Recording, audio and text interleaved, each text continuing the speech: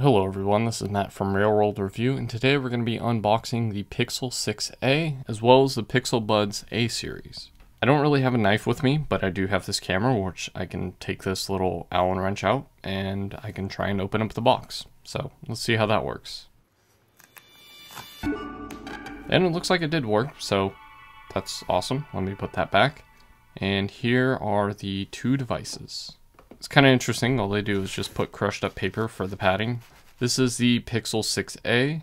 It comes in Sage. That's the one that I chose. That I think looks the best. And it does only come in 128 gigabytes. This is pretty much the box, super thin. So let's peel this thing off and lift up the box.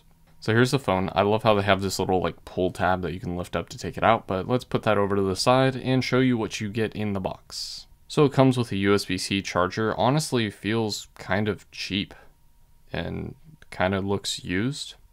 Maybe it is. Maybe it's like refurbished or something. I don't know. The funny thing is it comes with this little adapter too to transfer information, which is fine, but most of the time you can do that wirelessly. I just don't understand why they include this, but not an actual charger. And then there's this little box up here that says Google Tensor, but it has the information on how to use the phone, or just the basics, as well as security information and safety information. And then it has this nice little SIM ejector, which I'll leave in place. But yeah, Pixel 6a, Tensor, close up this cheap little box. Honestly feels so flimsy. I don't know if that's good for recycling or whatever, but honestly looks and feels cheap and isn't really the best first impression. The most ironic thing that I can think of is if it is for recycling, this completely defeats the purpose. These are the Pixel Buds A series, and it has a plastic thing around it, and yeah, that's not good for the environment.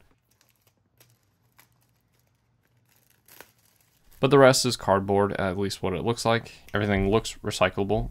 So on the top we get the buds, we could take those out, and we get this little carton thing, another separator, I don't know why. And then we get the weirdest one, the USB-C to USB-A plug, which is weird because, okay, this looks kind of dirty, like used already, I don't know. But it's weird because they don't have a USB-A charger ever, except for, for the buds, I guess. So if you ever bought a Pixel, you're not going to be able to charge this without a separate adapter. That's kind of frustrating.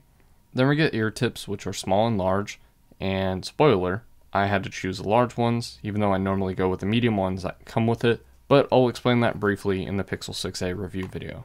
So we can take off this little plastic thing. Again, not really the best for recycling or being green, but okay. And here we are. We have the buds, which are green. I chose like the olive ones or whatever they're called. And then here's the phone. So let's peel this off. And power on the phone.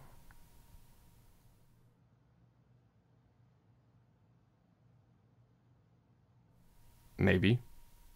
Okay, there we go.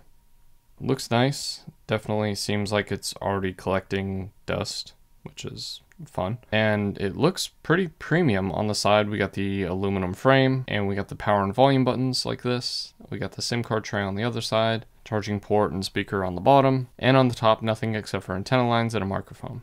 So I'm just going to skip through this so we can get all set up and see how the phone works.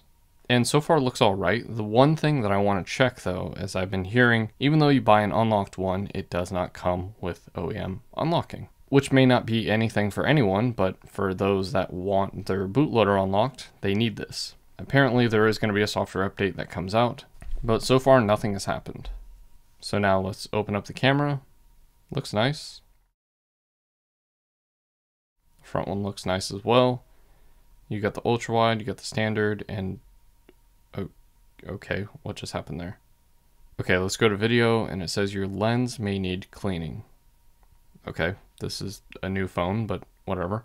And yes, this can do 4K at 60 frames per second, which is kind of crazy for a cheap device like this. But I guess that's not too bad seeing that the iPhone SE can do the same thing.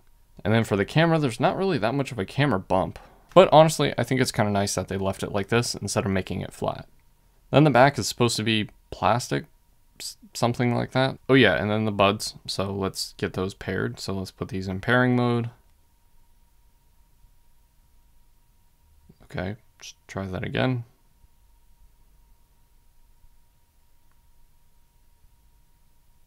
Am, am I doing something wrong? I got Wi-Fi, I got Bluetooth on. Not close enough. Okay, it looks like I'll have to go into Bluetooth mode to pair this or whatever, so let's power this off. Yeah, nope, that's not what I wanted. Okay, you have to do volume up and power to turn off the phone. You can change that in the settings, but I forgot that it's on by default. But yeah, that's my unboxing of the Pixel 6a as well as the Pixel Buds A series. Let me know if you have any questions. I will be doing a review on the Pixel 6a as well as some other videos with that phone, so let me know what you want to see in those videos. Socials are listed here, comments are below, and as always, thanks for watching.